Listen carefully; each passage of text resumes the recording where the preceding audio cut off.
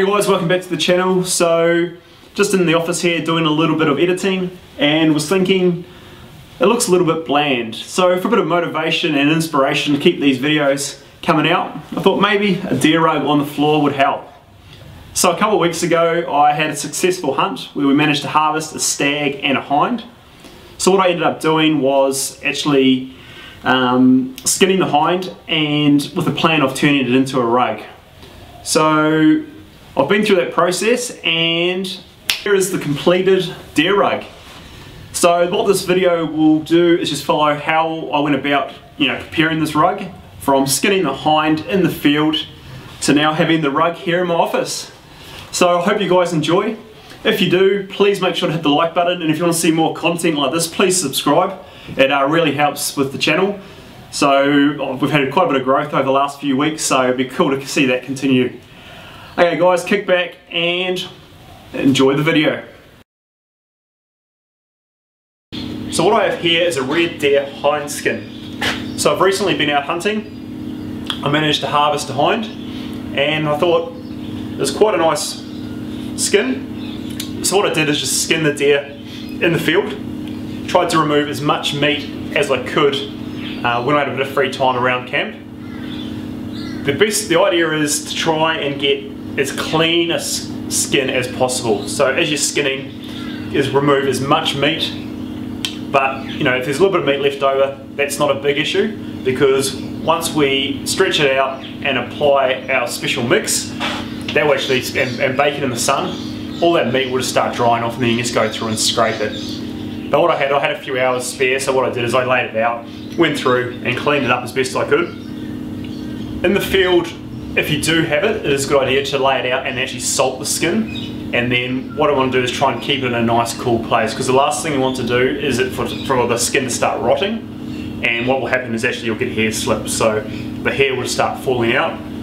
Luckily, it was a nice cool weekend, so it managed to, you know, I was able to keep it in a nice cool spot. A few things I did do is make sure you remove the the tailbone so as you can see, there's still a lot of moisture in there, so I really need to start getting this stretched out, and you know, and um, otherwise that there is just going to start rotting. But I've managed to keep it in a nice, cool spot.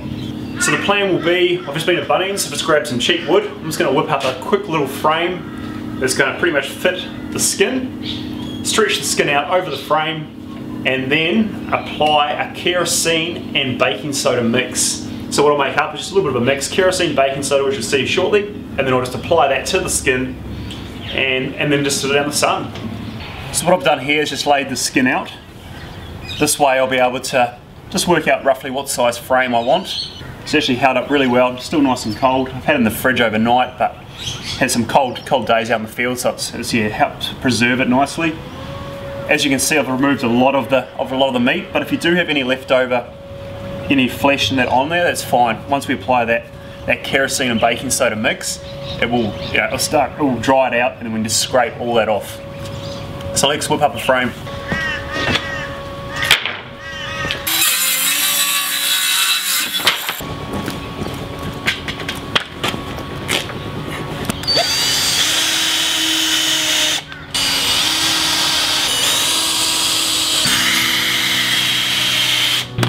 Okay, so I've made the frame. Now attach the desk into it.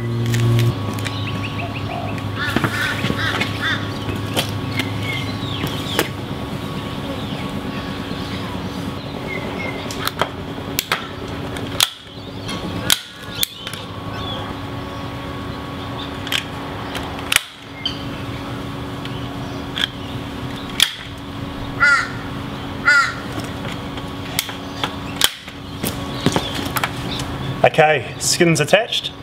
Now to make up the kerosene and baking soda mix. Okay, so the two secret ingredients, baking soda and kerosene.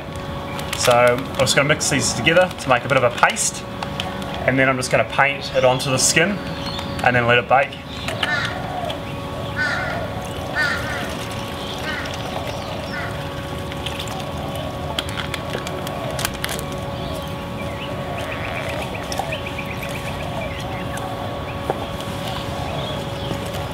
I usually like to make it into a bit of a paste like that.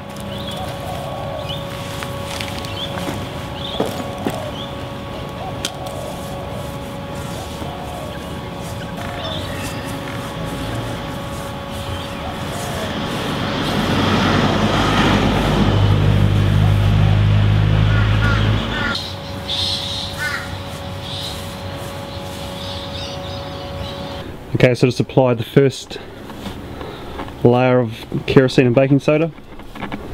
So I'm just to let that bake out. You just want to be careful not to, you know, make sure it doesn't get blown by flies. So I'll keep it out here for a little while and then I'll move it into a into my back shed which is nice and warm. And then we'll check it out in a few hours and we'll look at putting a second coat on. But what I've done is just with a bit of sandpaper, a knife, a chisel, just a bit of aluminium, just gone through and scraped off what I can. Uh, what I've noticed is there is still some moisture in the skin. So like I say, it has just been sitting in the garage for the last eight days, hasn't been out in the sun. I probably had it in the sun all day Saturday and half a day Sunday. So it's probably about a day and a half, so I need to get back out in the sun and then potentially apply a bit more of the the kerosene and baking soda mix, but we'll get in the sun for a couple of hours and see how it starts coming up. Yeah, moisture up through here. So I just got rid of some excess flesh. It's starting to look alright.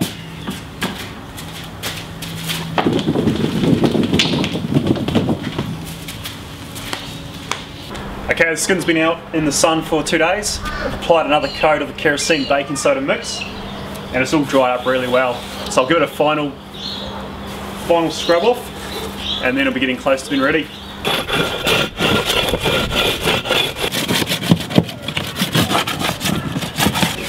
Okay, so this is getting pretty close to the finished product.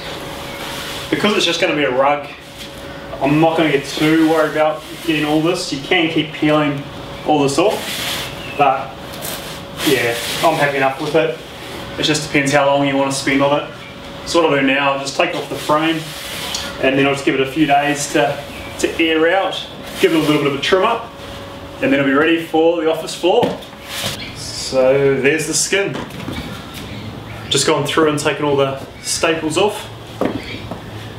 And now I'll give it a bit of a vacuum and a little bit of a trim up. There's a few spots where it's a little bit, I don't know, a little bit grotty. Give it a trim up, which will look good. So as you can see, it's pretty solid. But for a rug, that's perfect. If you do want to break it down, you can just work, continue working this with, I don't know, sandpaper or over a bit of wood. But for me, for a rug, for the office, looks pretty good.